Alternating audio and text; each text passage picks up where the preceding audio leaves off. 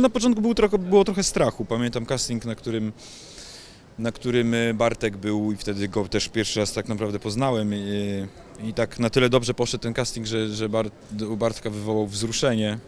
I wtedy się tak trochę zastanawiałem, czy, czy, czy nie będziemy tutaj psychodramy tworzyć, że to będzie forma rozliczenia się Bartka z własną głową. I, i to był taki strach, że, że, że nie będziemy robić filmu, tylko będziemy troszkę takiego no właśnie, jak już powiedziałem, takiego, ta- takiego psychodelicznej sytuacji dotykać, ale to był zupełnie e, strach bezpodstawny, bo się okazało, bo, że, że, że Bartek całkowicie jakby myśli tutaj głównie o filmie i o, o, o obrazie, pokazaniu tego, tej historii w, w sposób ogólny, w sposób e, przystępny dla ludzi, a nie, a nie prywatnie rozdrapywanie własnych ran. I, i to było bardzo fajną, fajną rzeczą, bo, bo, bo to okazało pe, pewien profesjonalizm.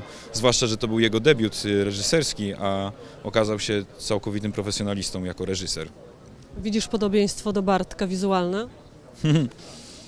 Ym, y, Część rzeczy staraliśmy się y, tak podstylizować. Ym, Na pewno trochę ucze- uczesanie nasze by- by- było zmieniane pod, pod tym kątem, trochę y, sposób ubierania się.